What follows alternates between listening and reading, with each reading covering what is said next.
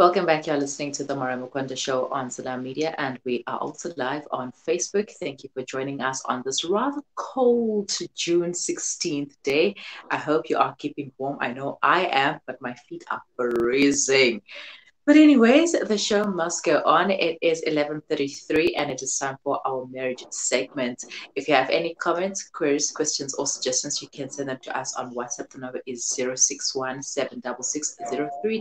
Alternatively, you can leave your comments in the comments section below on Facebook, and also drop us your DMs on uh, Instagram and Twitter.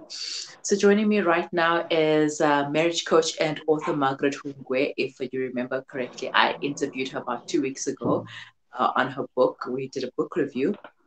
And uh, today she is joining me on the line to talk about fatigue, which happens to be the common enemy of a happy marriage. Uh, good morning, Margaret. Thank you for joining me this morning.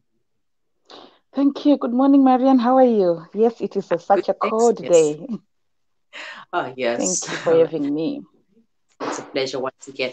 Now, fatigue is not something that uh, we often think of when it comes to uh, being a contributor to um, you know an enemy of a happy marriage. You know we always just brush it under the carpet and look uh, look at it as something which everyone goes through whether married or single. But you know it happens to be a, a common enemy. What what is relationship fatigue? All right, thank you, Maryam, for having me today, and uh, to all to all the other viewers that were, are watching live right now. So probably we should start with asking ourselves, what is fatigue? You know, because that word might probably seem big to other people. So when you go to anti Google, you go to Google just to check the meaning of fatigue, you see that there are words like low energy, lack of motivation, lack of, of you are feeling tired, you feel like you want to give up. So now, when you connect that to a relationship, when someone is saying that they are no longer motivated being in a marriage, or they are still there but they've got low energy, there is nothing that they are feeling anymore that becomes something that is dangerous to a marriage or to a relationship. So, in this context of a marriage where we talk of fatigue, this is when a couple, it's either the husband or a wife, or even in a relationship of uh, of some of, of two people that are in courtship, are feeling that they're just tired of this relationship either they just want out or they no longer even feel that energy to continue going on into into in that relationship due to several reasons why they are feeling that and some just to look at some of the issues that you might see that causes fatigue in a marriage. There are several and i actually listed a little bit uh, about five points that speaks to fatigue which will go into in, into detail just now. All right. Okay so you know when um, I was uh, reading up on this topic of relationship fatigue. You know, I, I, I thought it was just you know just being tired in a relationship, but but not not being tired as you know you're tired of this relationship and you want out. I thought it's just you know just as as a normal person gets tired, gets fatigued, and uh, you're looking for ways to um, remove that fatigue and to boost your energy. But there's more to it than just that. All right, uh, uh, please go into the points and uh, what causes relationship fatigue. All right. So for real, there are two types of it. The one that you've alluded to just now, and the other one is like, you know what? I no longer want this thing. I'm just exhausted over it. I think I've just been using too much of myself, such that that I'm now running on empty when it comes to love. So some of the causes of fatigue in marriage is familiarity breeds contempt. Breeds contempt. So what happens in marriage is that we become familiar of each other we see each other every day. I know that my husband is still going to come back home. Himself, he might be saying probably is at work.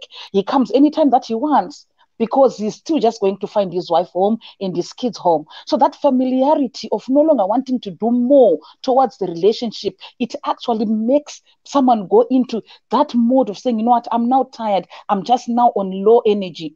Why? Because I feel like I'm being taken for granted. You know, I'm not I'm not really valued in this relationship my husband or my wife is not seeing what I'm contributing to it, such that I just feel like there is nothing that I'm getting out of this relationship.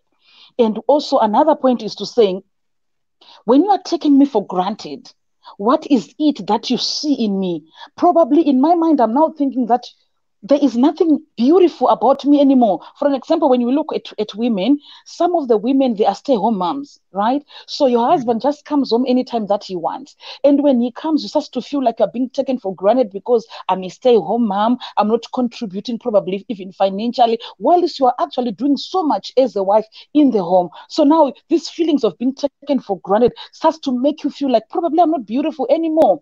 Maybe my husband, when he's at work, he sees other beautiful women out there. And me i'm just at home making sure kids have done homework i've cooked the house is clean. So that brings even resentment inside of your heart to say okay so if i'm not valued what more can i even contribute to to this relationship?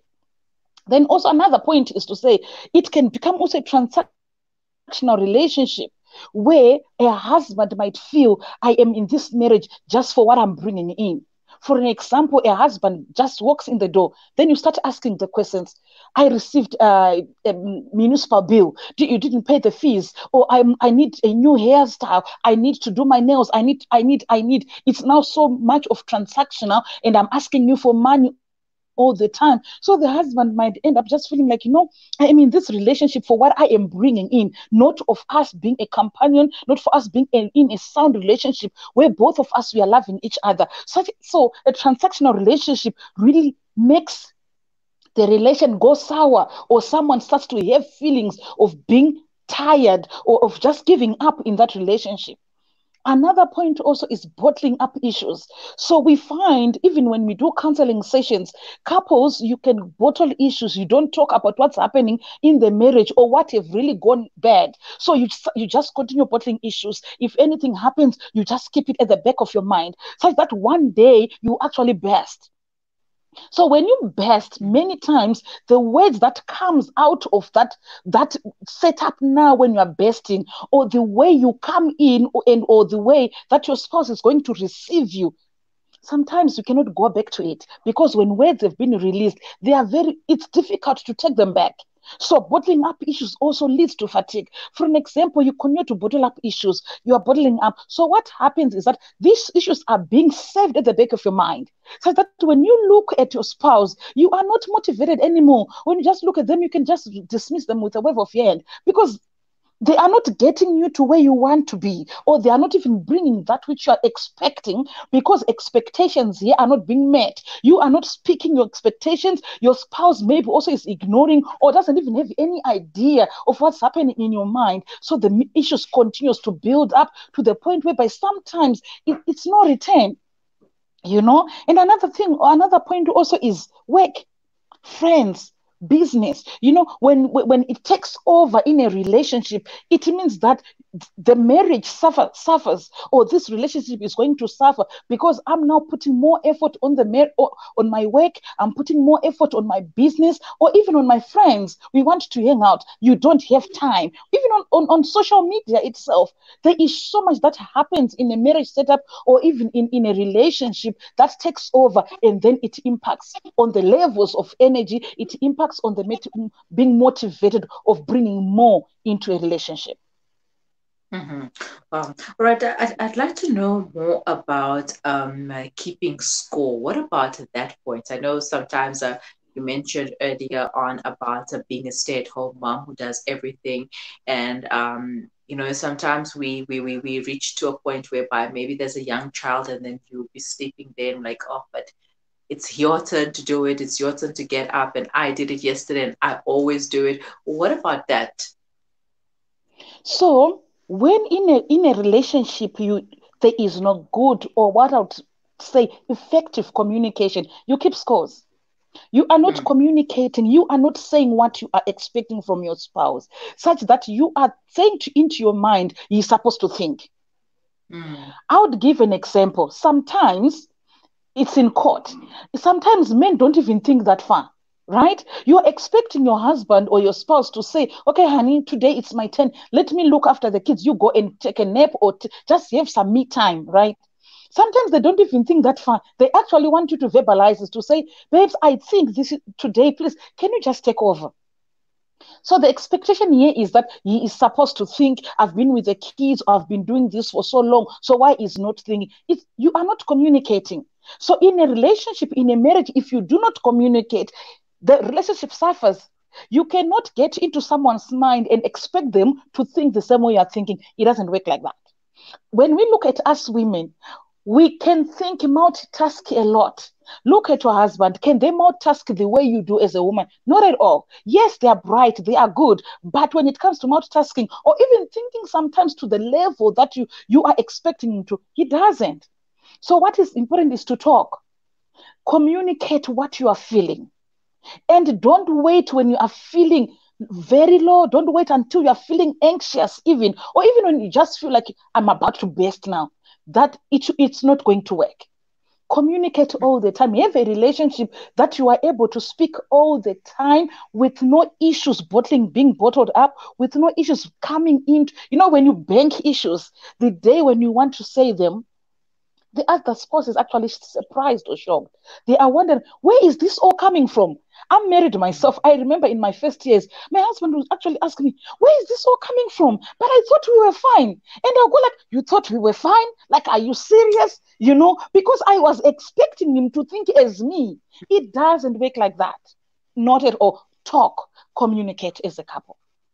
Mm, and I know as women, we have that problem of uh, not talking because we expect our husbands to know what we're thinking or we want them to know what we're thinking. I mean, it's even even little things like the habits in the household. You know, we just expect them to know that, hey, you're supposed to put things the way you found them. But yes. obviously, that's not the case. Unless you verbalize it, then perhaps they'll change and uh, doing uh, start doing what you want them to do. All right, uh, we have a comment here from uh, Tite Masvita says, watching all the way from Zimbabwe and Gezi. Thank you for joining us, and I hope you are keeping warm. Also, communicate all the time. Yes, yes, do not bottle things up. Uh, uh, stay with us, Margaret uh, and Tite. We're going to take a quick break, and when we come back, we'll have uh, solutions on how to deal with uh, fatigue in the marriage.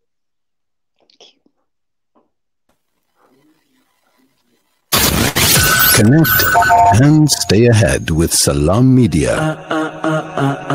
This is Salam Media coming to you live from South Africa.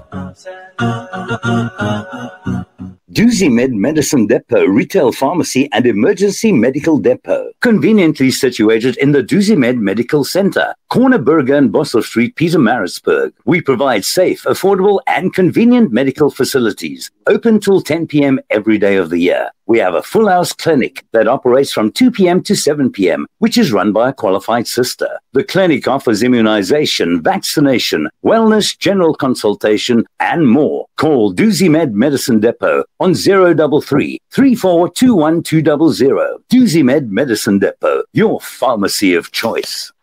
Once again, winter has made itself known, and thousands are left to face this harsh season in utter destitution. Assist those in need this winter by sponsoring a blanket and mask for only 150 Rand or a winter humanitize pack for only 350 Rand, which includes blankets, scarves, gloves, candles, beanies, and masks. Call 011 834 8685 or donate online at africamuslimsagency.co.za. The AMA winter distribution runs throughout South Africa. Africa Muslims Agency, inspiring the spirit of giving.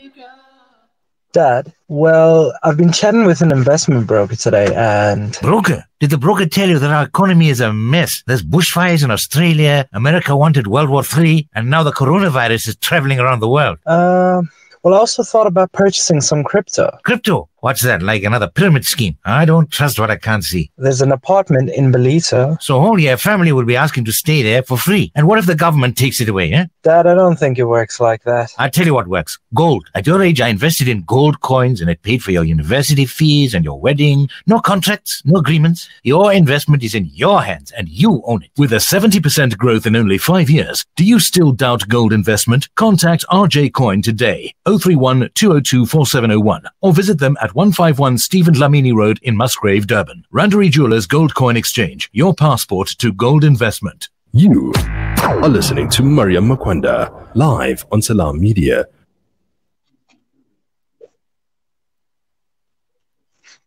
Welcome back. You are listening to the Maryam Mkwanda Show, and we are also live on Facebook for your viewing pleasure. And I hope you are keeping warm wherever you are uh, in the country. And uh, thank you for joining me. Still on the line is uh, Margaret Hungwe, who is an author as well as a marriage coach. And we are talking about fatigue in a marriage, actually, the common enemy. And if you just joined us, unfortunately, you've missed out quite a bit on the points that uh, Margaret shared with us. But uh, don't despair because this video will still be upload will still be available on facebook for you to view later on uh, so margaret uh, obviously when we have problems we have to find solutions to them so how can we fix this problem of marriage fatigue what do we need to do all right so earlier on we spoke about communication effective communication and someone might say Mhm. but margaret what when you talk of communication what are you talking about right so when you communicate with your spouse, you are looking for the things that are causing the fa- fatigue in a relationship. You are talking about the issues that are affecting you as a couple, right? So it their issues are going to come up to say, you know, when you speak to me or when you come home or when you come home late, this is how I feel.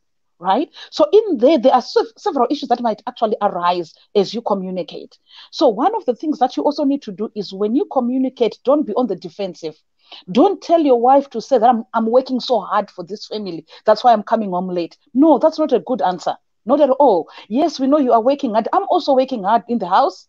When you come home to a clean home, when you come home to a hot meal, it did not cook itself.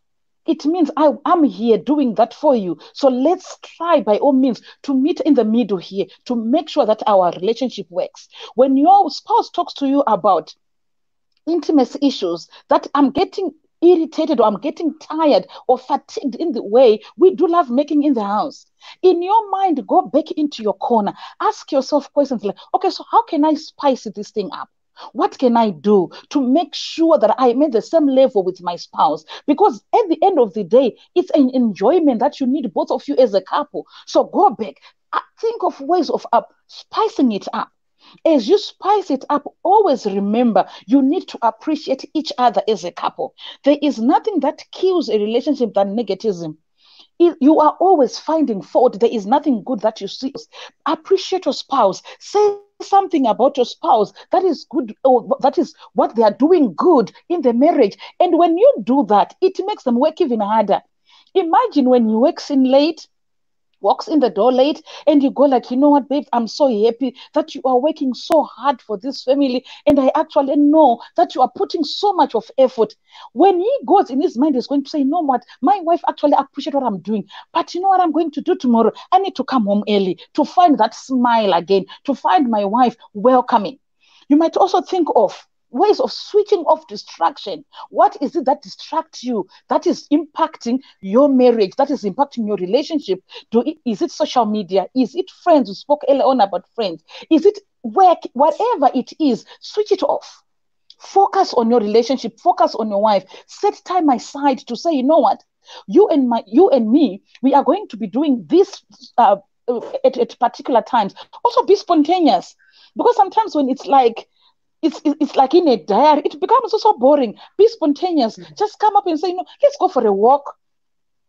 It's not expensive to work on your marriage. You know, taking a walk doesn't cost you anything. You walk, you are just having a good time. You are talking, holding hands. By the time you come back home, you are on another level already. The next thing, do you know what it leads to? intimacy because you are gelling you are understanding each other going for for, for, for a cup of coffee at Mug and at Mug and Bean. Going for an ice cream, at, at, ice cream at McDonald's costs you three rand fifty. You know, it's not expensive to work on your marriage. Also, be intentional in what you do. Go all out to make your spouse feel special. You know, I remember, I think it was in our first year of marriage. So I, I enjoy a vanilla cake. My husband loves a, a chocolate cake. So what you do, you walk in the, you, you come in, goes like, Max, I bought you a cake. Then I go like, yes, right?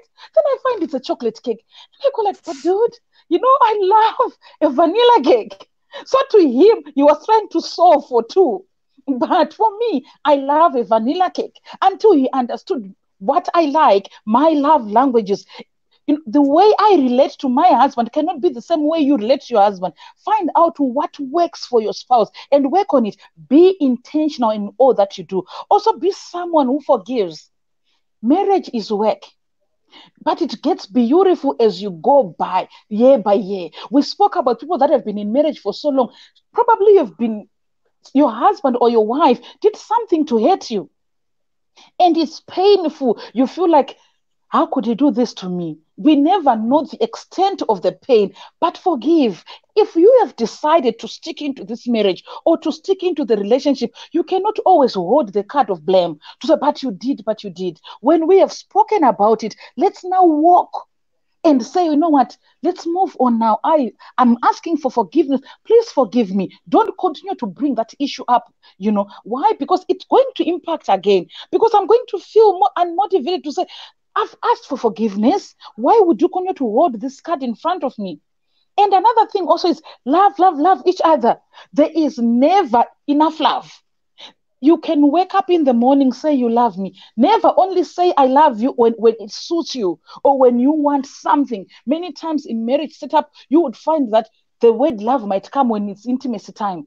It doesn't work like that always say the words affirm your, your your your your spouse even if things have happened when we talk of things we spoke a lot of on of a forgiveness we, we can also look at situations whereby the body has changed you know something has mm. grown on you still love me the way I am because you knew me when I was a size eight. So what am I saying is love, love, love each other. Never stop loving each other. And always find the things that makes you laugh together. You know, sometimes it's so sad when you see a couple driving in a car, they can't even talk to each other. The other is looking the, in the other direction. It becomes so sad. Moreover, even when kids are in the picture now, you cannot talk and laugh. You cannot joke. You cannot play games to simple games. You can't even do so. Why? Because you are all serious. Marriage is not supposed to be like that.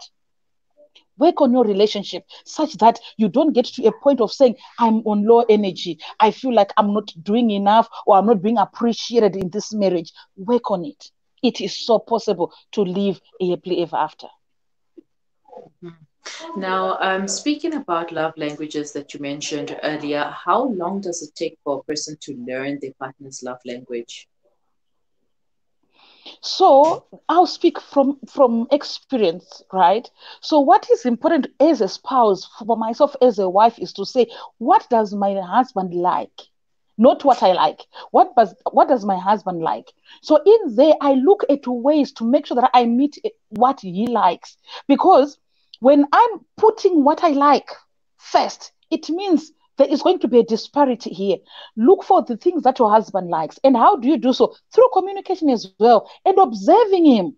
You know, what kind of food does he like? If I touch him this way, if I refer him to this way, if I respect him this way, if I do things this way. For an example, you would find a spouse who wants to be respected a lot, especially when his family is around right? That's his love language. Do so. So then my husband also needs to realize what I like, not what he likes, but what I like. And there you complement each other. Remember, a marriage or a relationship is not competition. So if you are on competition saying, I love to eat beef, then I'm coming, I'm saying, you know, I was thinking let's have chicken today. And you go like, but you know that I love beef.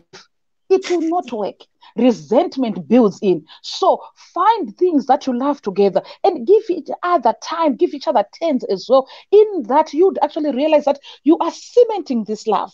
In terms of knowing, there is no time frame for an example, I'm 17 years in marriage right now. I still discover some things that my husband likes right now, but I've been married to him for 17 years. We've got kids and all those things. So it is being, remember I said earlier on, intentional. It's being intentional in wanting to know what he does he like more. And as he grows older, also as we get older in in, in our marriage, what what are the things that we're even now, now liking together that maybe we do not matter when we first got into the marriage. So it's being intentional. It's being conscious of where you are and where you are going. Mm-hmm. And uh, quickly, uh, just quick, uh, quickly uh, uh, tell us about um, having a, a, positive mindset and an outlook because you know everything happens in the mind, and if we think it, then that's when we uh, speak it and react to it. True, true. I'll give you even an example. This is it's really a, a very important thing here. For an example, as women, we get exhausted. We are everywhere. We are doing so much, right? Such that night time comes, you are exhausted. You don't want anything, right? So if you don't tell your mind that makes, I want to please my husband. I want to be, I want to do this to my husband. You will not do it because the body already is telling you that you are tired. Secondly, as you move into marriage, as you move into the years, things might come, sickness might come. I mean, your spouse might lose a, his job. Things. So th- when things come in, what are you telling your mind when you look at your spouse? For an mm-hmm. example, we walked into into a season where my husband lost his job for two years. It was tough financially. Why? Because we've got children that, that are going to school. We've got things that we need to take care in the house. So how did we manage that? It is telling myself that you know what? It was not this case when my husband was not was working. He can actually do much more. So while we are in this situation, how do we make it work? Positive words. How do you even encourage him? Because at that point i remember my husband feeling so low. He's saying to me you know what? I feel like i'm not doing so much. I'm leaving you to do all these things. And you look at him and you say you know what Habi, i know you can do this thing. You have been doing it before and you can still do so. And you you start to praise him. You start to say positive words to him the next thing that you will do is you wake up there and go and look for a job. You wake up there and do even something in the house to just help or alleviate the pressure in the home. So there is there is power in the words we utter to our spouses. There is power to the world that will create in that negative situation to make it positive. What it takes is someone who is willing to build, who is willing to make sure that this relationship work and is sustainable. Because imagine what when you continue to see the negative in your spouse, when you continue to see that he's not employed or my wife is not employed, how does that make them feel? They might end up feeling like they are useless and such a word is, I mean, it's totally negative. It really makes someone to go on their lows. So, what do you do? Build them up. And as you build them, you actually realize that they've got more to offer than what they've even been doing before. Mm-hmm. That's so true. And uh, obviously, with this lockdown, many people will be losing their jobs or already have lost their jobs. So it's now time where we need to stick together even more and make things work. Uh, thank you so much for your time once again, Margaret. And it's been a pleasure having you. Thank you so much for having me. Thank you. Bye bye. That Bye-bye. was uh, Margaret Hungwe, an author and a marriage coach, uh, talking about fatigue in a marriage and how to overcome this uh, common enemy that is destroying marriages. And if you are a person who has been experiencing fatigue in a marriage, um, then uh, do listen to this interview. Uh, it will be, uh, it is actually available on Facebook. Uh, thank you for joining me. If you have any comments, questions, queries, or suggestions, you can send them to us on WhatsApp. The number is 061 766 0355. Alternatively, you can leave your comments in the comment section below. Just stay with us. We will be right back.